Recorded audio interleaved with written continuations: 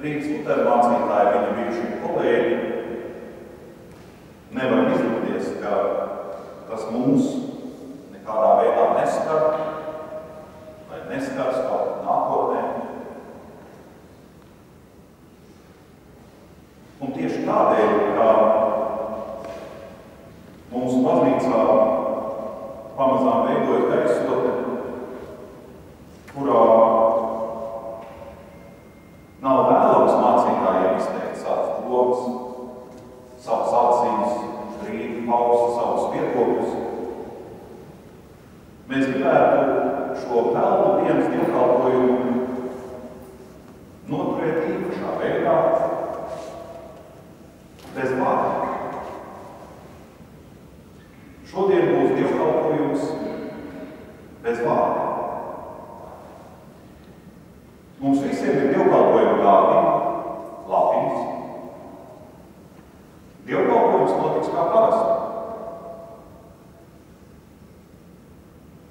ar visiem vajadzīgiem žestiem, kustībām, visu noristajā.